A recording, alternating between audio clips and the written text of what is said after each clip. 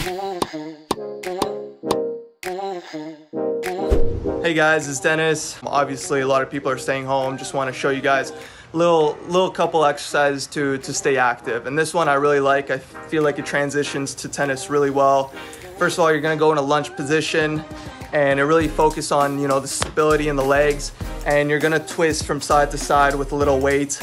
And it really really shows how you know how you hit a forehand and backhand and you really engage the core which is gonna really help on on court later on. Gripping the weights like this obviously every weight's gonna be a bit different but the main main purpose is to kind of keep it close to you and just twist left to right and just breathe through it.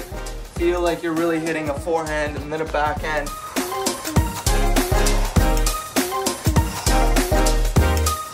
feel that core engaged.